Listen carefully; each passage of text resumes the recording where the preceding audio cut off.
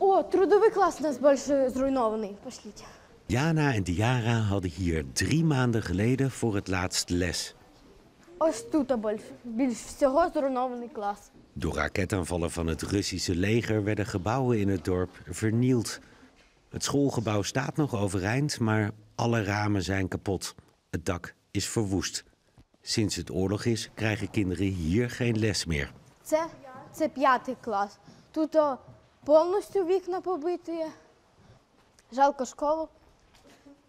De school staat in het noorden van Oekraïne, in het dorpje Olizarivka. Er wonen 300 mensen. Dilara en Jana kunnen de straat weer op. De oorlog is niet voorbij, maar er zijn in elk geval geen Russische soldaten meer in hun dorp. Het lijkt weer wat veiliger. Dilara laat de plek zien waar ze 34 dagen lang met haar hele familie verstopt zat. Це наше бомбосховище. Тут ми ховалися від коли нас бомбили.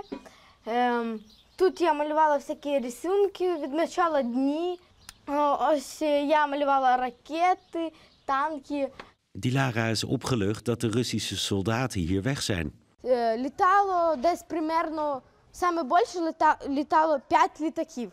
Літали дуже низько, було чутно, як дуже низько літали самольоти. Ну, важко було це терпіти. Вони ще приходили, забирали телефони, е, всяку техніку забирали, всю.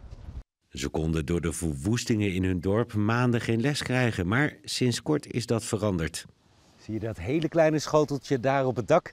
Dat is de redding geweest voor dit dorp, want daardoor hebben ze hier nu internet en telefoon. Want tijdens een oorlog gaat natuurlijk alles kapot: elektriciteit, water, internet.